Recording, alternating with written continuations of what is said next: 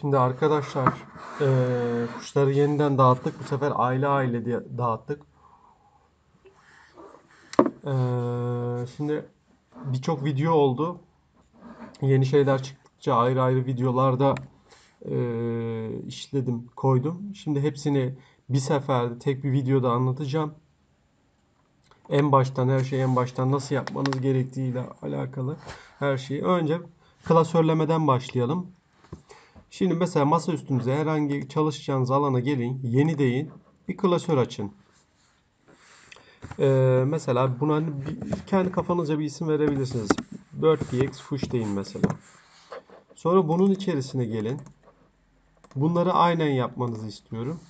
Ham diye bir klasör açın.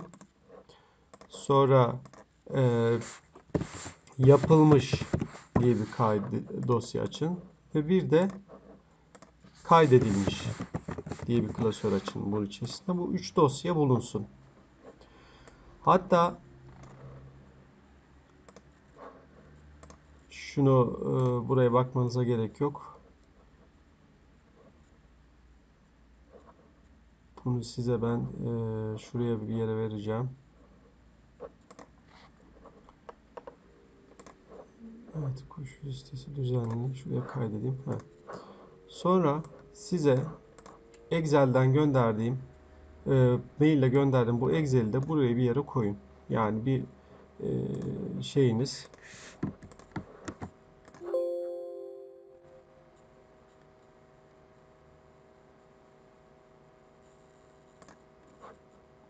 Excel'i buraya koyun. Şu şekilde klasörün içi hazır olsun. Şimdi burada ham e, fotoğrafın orijinalinde Google'dan aldığınız fotoğrafın orijinallerini buraya atacağız. Bunu işlediğince yapılmış olarak bunun içine kaydedeceğiz. WordPX'e kaydetmişsek de yapılmışın içerisine alıp kaydedilmişe e, atacağız. Şimdi şu şekilde başlıyoruz.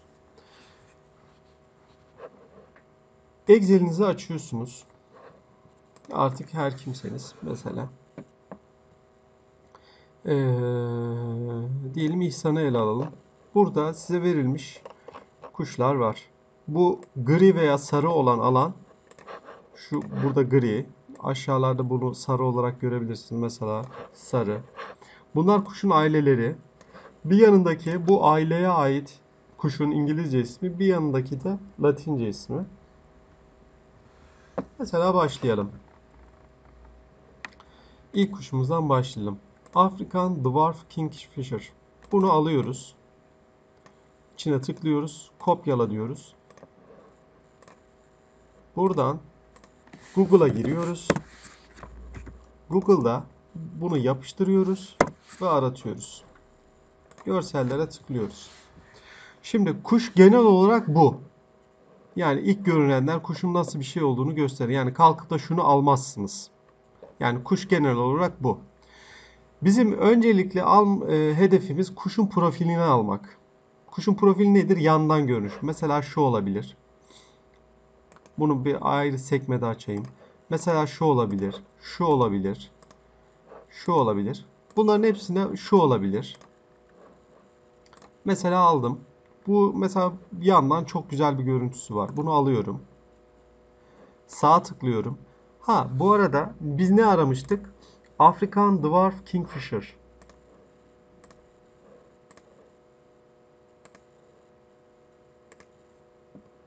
Şimdi şeylere de bakın yalnız. Ee, kuşlara bak bakın. Ee, kuşların içerisinde şurada yazar African Dwarf Kingfisher diye.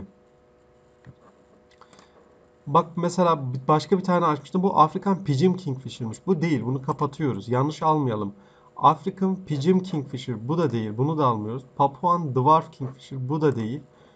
Oriental Dwarf Kingfisher. Bu da değil. Yani e, kuşumuz şuymuş. African Dwarf Kingfisher. Eğer bulmakta zorlanıyorsunuz. İngilizce bulmuştuk ya. Bunun Latincesini kopyalayın. Latincesini buraya yazın. İngilizcesi yerine. Yine kuşlar çıkacaktır. Ha buradan yine bulur. Bak bakın şu olabilir mi mesela? Güzel bir şey var. African Dwarf Kingfisher. Bu olabilir. Bakalım başka var mı? Şuna bakalım. Güzel mi görüntüsü? Bu da olabilir. Şuna bir bakalım. Evet, African Dwarf Kingfisher. Şuradan bakıyorum. Şöyle güzel bir tane bulmaya çalışıyorum. Sırtında gösteren bir şey olsun. Ee, muhtemelen şunu alacağız. Evet, bunu seçiyoruz. Resmi farklı kaydet diyorum. Nereydi bizim yerimizin adı? BirdPX kuş. Nereye kaydedeceğim? İster hamın içine kaydedin. Çünkü fotoğrafın hamı bu. İsterseniz şu boşluğa kaydedin. Ama kaydederken şuna dikkat edin. Tekrar Excel'inize gelin. Kuşun İngilizce ismini alın. Kopyalayın. Tekrar buraya gelin. Şu nokta .jpeg'den öncesini silin ve buraya kuşun adını yapıştırın. Bu çok önemli. Bu kuşun adını yapıştırın hamına da ve kaydedin. Fotoğrafımız şuraya kaydoldu bakın. Şuraya kaydoldu. Görünümünü de değiştireyim. Büyük simgeler yapayım. Bakın fotoğraf burada. Ondan sonra fotoğraf bulmaya devam edelim. Mesela atıyorum herhangi bir tane daha bulayım. Sula Dwarf Kingfisher varmış. Aldım. Kopyaladım. Google'dan arattım. Ha, kuşumuz genel olarak yine bu. Şu olabilir mesela. Neydi bizim? Sula Dwarf Kingfisher. Bu mu? Muhtemelen değil. Ee, şuna bakalım. Şuna bakalım. Bir şey yazmıyor. Bir şey yazmıyor. Evet yani şimdi kuş ile alakalı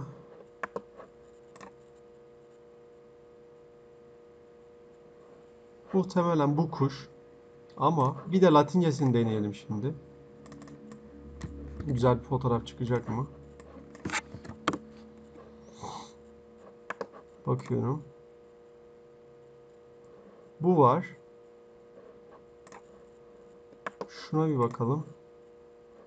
Şuradan ismini her zaman kontrol ediyorum. Yoksa almayacağım. Şu olabilir mi? Kameleon da var. Şimdi diyelim ki bu var. Bunu alabiliriz. Kaydediyorum. Bu da Kameleon Dwarf Kingfisher'mış. Biz ne arıyorduk bu arada? Sula Dwarf Kingfisher. Şimdi bulamadık. Bu yok. Bulamadık. O zaman şöyle yapacağız. Buna kırmızı atacağız. Bunu artık aramayacağız. Bunu bulmuştuk en baştakini. Buna da bir yeşil atacağız. Bulduklarımızı böyle yeşilleyeceğiz. Bulamadıklarımızı kırmızılayacağız. Başka bir tane daha arayalım. Princip Kingfisher mesela. Kopyaladım. Bunu artık aramıyorum. Bunu sitemize koymayacağız. Baktık. Muhtemelen var. Şu güzel bir fotoğrafı benziyor. Şu da güzel bir fotoğrafı benziyor. Şunlara bir bakalım. Princip Kingfisher. Evet bu olabilir. Bu da olabilir. Princip Kingfisher. Şu biraz daha iyiye benziyor. Bunu aldım. Farklı kaydettim. Ee, şuradan ismini alıyorum. Princip Kingfisher. Kopyaladım. Buraya kaydettim. Hamına kaydettim.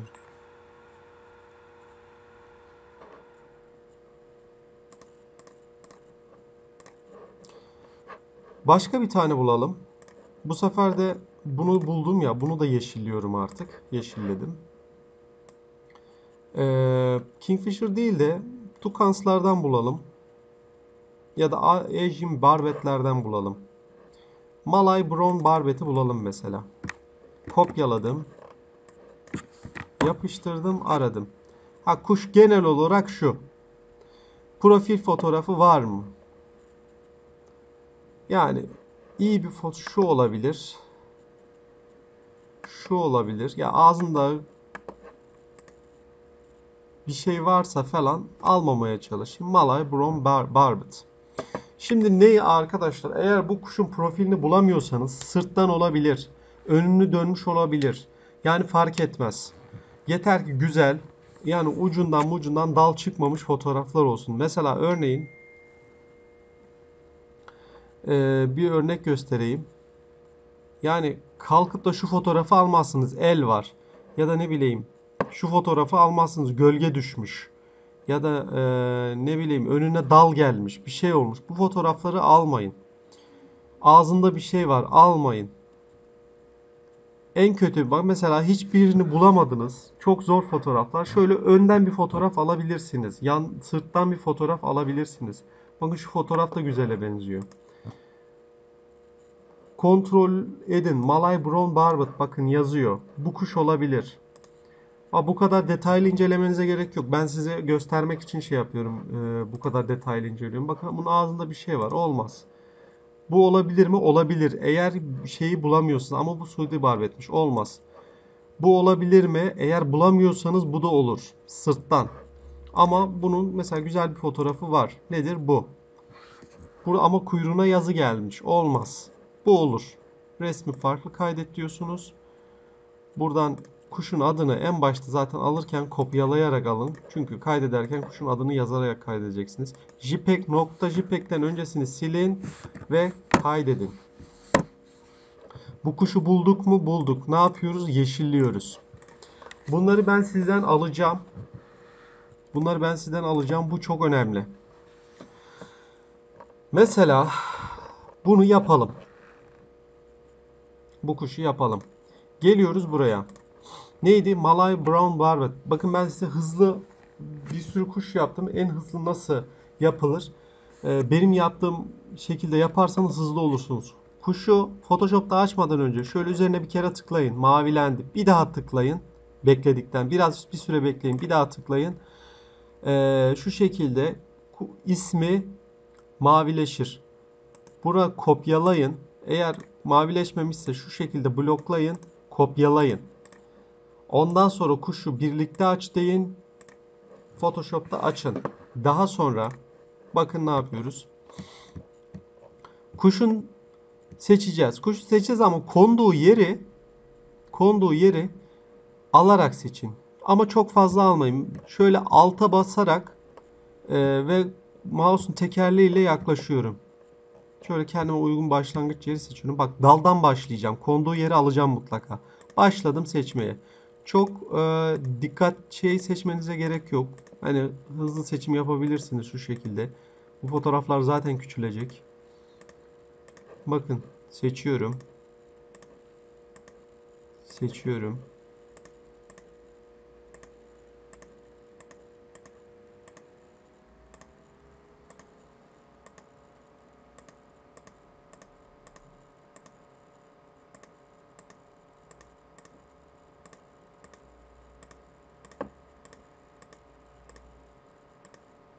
Şöyle hafif dalı tekrar alıyorum. Dalı uzatıyorum. Yani çünkü abuk subuk bir görüntü oluşuyor. Konduğu yeri göstermek için. Bu önemli. Yani bu dal olabilir, toprak olabilir, zemine konmuş olabilir. Ya hafifçe alın konduğu yeri. Seçtim. Ama şimdi bakın seçtikten sonra şurası kaldı. Burayı da içine dahil ettim. Ne yapacağım? Şu kement araç seçiliyken bu kement eğer sizde yoksa yani mesela şöyle e, şey varsa mesela yuvarlak bir şey varsa buraya sağ tıklayın çokgent kement aracını seçin. Çokgent kement aracı sağ tıklayın buraya. Bu şekilde seçin. Daha sonra e, şu üçüncü sıradakini tıklayın. Tıklayınca bakın mouse'da kementin yanında bir eksi işareti olacak. Bakın. Bu eksi işareti çıkınca bu ne demek? Seçilen yerden çıkar demek o boşluğu. Şuradan oradaki boşluğu çıkarıyorum arka plana.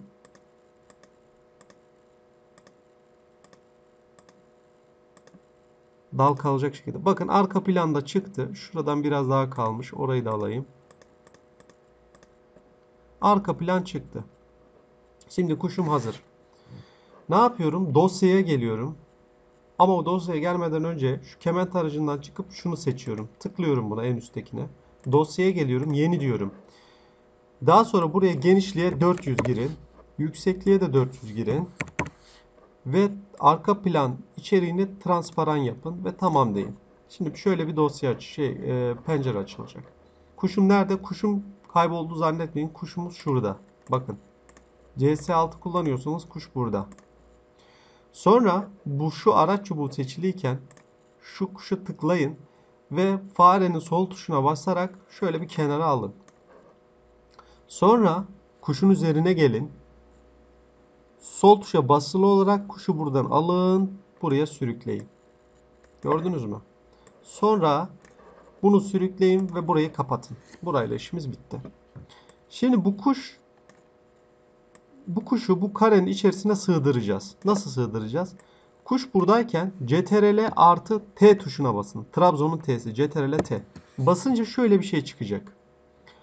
Bunu götürün. Şöyle sağ üstte şu köşelerini birleştirecek şekilde değdirin. Yani kuşu şöyle değil.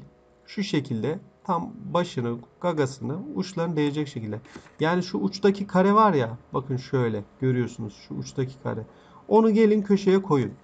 Daha sonra en aşağı köşeye geçin. Shift tuşuna basılı olarak ve bir yandan da mouse'un sol tuşuna basılı olarak e, kuşu büyütün.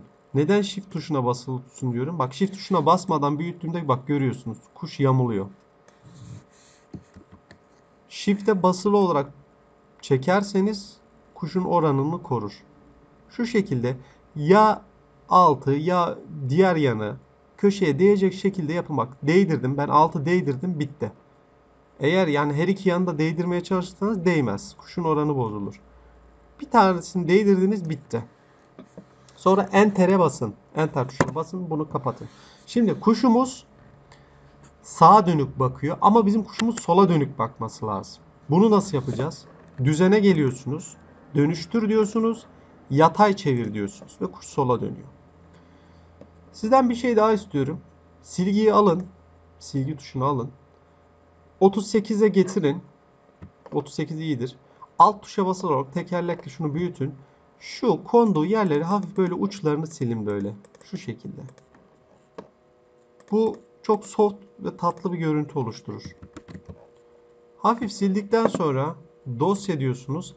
Farklı kaydet demiyorsunuz. Web için kaydet diyorsunuz. Çünkü JPEG değil PNG olarak kaydedeceğiz. PNG 24 seçili olduğuna dikkat edin. Kaydet deyin. Şimdi hatırlarsanız başta demiştim ki kuşun ee, ismini şöyle bir kere tıklayın. Blokluyken kopyalayın demiştim. En başta bunu yaptıysanız sıkıntı yok. Yapmadıysanız bir daha yapın. Kopyalayın. Gelin buraya. Nokta PNG'den solunu silin. Ve kuşun adını buraya yapıştırın. Bakın Malay Brown Barbet. Ne, nereye yapıştıracaktım ben? BirdPX kuş. Yapılmışın içerisine kaydediyorum bakın bunu. Malay Brown Barbet'i yapılmışın içerisine kaydediyorum. Kaydettim. Uyarıya tamam deyin. Bu kuş kaydoldu. Bunu artık kapatabilirsiniz. Şimdi gidelim bakalım. Evet kuş burada. Yapılmış. Şimdi BirdPX'te ben bunu kaydedeceğim. Nasıl kaydedeceğim? Geliyorsunuz BirdPX'e. BirdPX upload species image.php Bunu direkt yazın. Buraya bir herhangi bir yere tıklayarak ulaşamazsınız. Buraya bu şekilde yazın. Giriş yaptıktan sonra önce WordPX'e giriş yapın. Daha sonra upload alt species boş e, alt image.php ile yapıştırın. Şimdi e, neredeydi benim kuşum? Buradaydı. Malay Brown Barbet. Hangi aileden? Asian, Asian Bar Barbet'ta. Geliyorum burada Asian Barbet'i seçiyorum. Bakın burada. Seçtim. Neydi kuşumun adı? Tekrar bakıyorum. Malay Brown Barbet. Geliyorum burada M harfine basıyorum. Bulacağım onu. Malay Brown Barbet en başta zaten. Yani size verdiğim sıralamayla gider. Ee, bakın. Asian Barbet'larda birinci sırada. Evet birinci sırada. Burada da zaten birinci sırada olur. Bakın birinci sırada. Göz at diyorum. Geliyorum e, BirdPX kuş. Yapılmış. Malay Brown Barbet. Aç diyorum ve kuşum buraya kaydediliyor. Yeni ekleme yapıyorsanız yeni eklediğin tekrar kuşu devam edin. Yani tekrar mesela ikinciyi yaptınız. İşte Bornean Brown Barbet. Yine ikinci sıradadır bakın. Eğer kaydettiyseniz bunun hemen yanındaki kutucuğa yani isminizin yanındaki kutucuğa da bir yeşil işareti koyun. Ki kaydettiğinizi ben anlayayım. Bu şekilde yapıyoruz arkadaşlar. Yani olan biten bu. Şey değil. Yani profil resmini yandan kuşun profilini çok iyi bulamayabilirsiniz. O zaman önden şöyle ön göğüs möğüs falan da olabilir. Hani bakın ben size yaptıklarımın birkaçını göstereyim. Ee, mesela bu kuşu mesela bakın e, önden bulmuşum. Yani profili yok. Bazı kuşları sırttan bulmuşum mesela. Olmayanları. Ama mesela bunu uçar bulmuşum ya. Artık hiç bulamamışım. Ama yani bulamıyorsanız zorlamayın. Bırakın bir kırmızı koyun. Şu şekilde. Şu şekilde kırmızıyı koyun. Onu yüklemeyeceğiz. Görseli yok diyeceğiz. Buna dikkat edin arkadaşlar. Hepsi bu kadar. Ee, bunun yaptıklarımı birebir şekilde yapmaya çalışırsanız hiçbir sıkıntı yok. Kolay gelsin diyorum.